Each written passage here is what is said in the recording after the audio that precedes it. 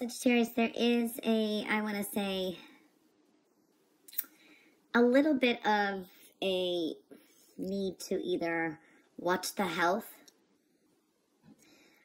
or kind of slow down. Haste makes waste. This can also indicate sometimes stress or just rushing somehow will um, complicate an issue, meaning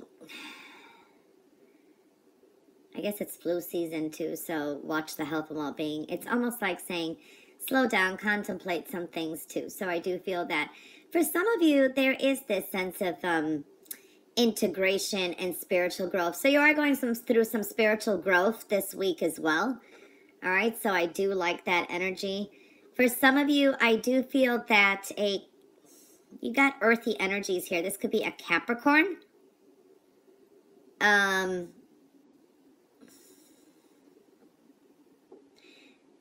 or that energy around you, it could be someone that could actually help make a wish come to fruition.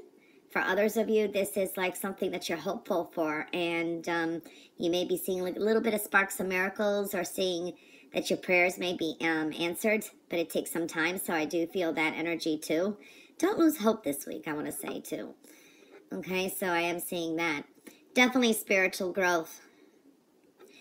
For a lot of you, this is emotional balance, also evolving spiritually and intuitively. Uh, watch your emotions. I do feel that too, because some of you may be feeling some changes coming up, and these could be internal changes, and you're just feeling it. And um, yeah, so this could also be like something that could be very endearing, um, very supportive person around you. This could be a sister, mother. It looks like a female as well. Uh, so definitely seeing that kind of energy too. This is also an energy here where sometimes you need to express things, but know when to speak quiet and what to say. Um, you got some important maybe choices to make. I do feel you're dealing with some kind of trust issues. And this is, again, it's a, sometimes it's an up and down here um, energy. It's like you're happy, sad at the same time. So I do see that too. But I do feel it's more pessimistic energy as well.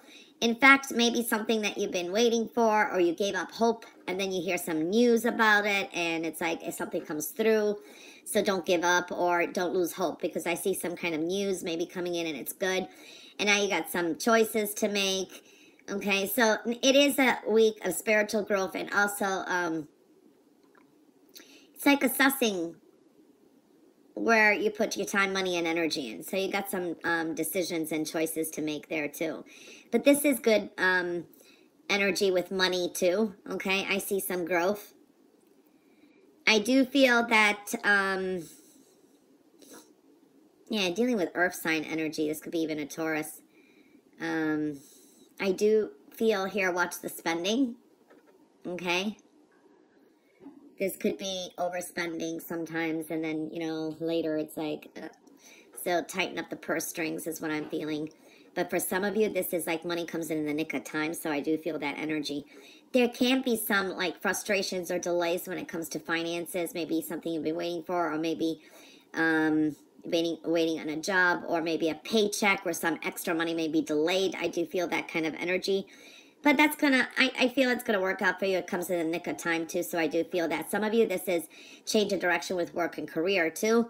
And for some of you, thoughts of moving, real estate, um, dealing with real estate, um, property, um, homeowners um, association, I do see that kind of energy too. You do have like a yes answer to a question someone has out there as well.